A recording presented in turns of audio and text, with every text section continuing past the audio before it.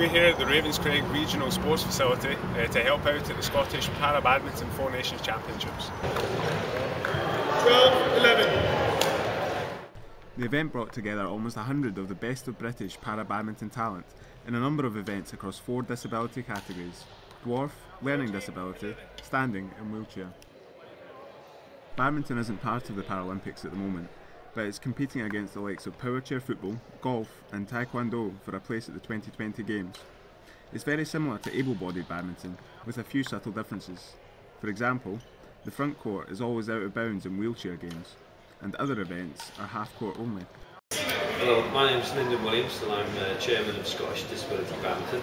Uh, my background is that I'm uh, an ex-badminton player from uh, a long time ago uh, and over the last 10 years I've become involved with badminton, disability badminton, uh, not just in Scotland but on, on, the world stage as well. I've been really involved with coach education and setting up uh, my own club, you know, a big club and, and pretty much involved all around this weekend has been absolutely fantastic. I mean, the first thing is that we found a venue that's got everything we need, lots of space, but the atmosphere is brilliant. The good thing about these events is they got there's a cross section of ability.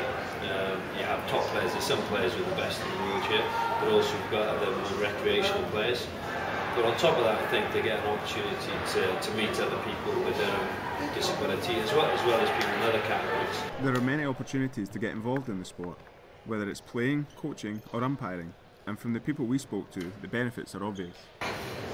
Games, there's an endless list, I could be here for an hour telling you about them. Eh? It's just it's so rewarding, especially when you've got players. We start, I started the club um, a year and a half ago. We've got two players um, playing today, one of which had picked up a racket a year and a half ago, and she's doing absolutely brilliantly. And one the other boy, he's in, a, he's in a final, so it's, it's great. Um, it's coaching and, it's just brilliant. I think for general life skills, you know, you're it's a good CV booster, it's the actual rewards of it, you get so much from it and I've been so lucky with what I've been able to do.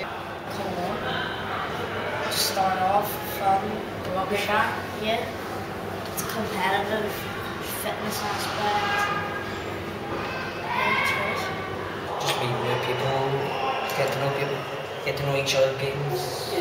Like a, a broad sport to play many people's parents have have the perception that they don't want to able their child as having a, disability, but in reality you are preventing your child to have aspirations to be a Paralympian and if you don't put that mindset into your son or daughter's mind then you're, then you're just preventing them for the taking part. But yes it is a process, but just to let them have fun and just themselves.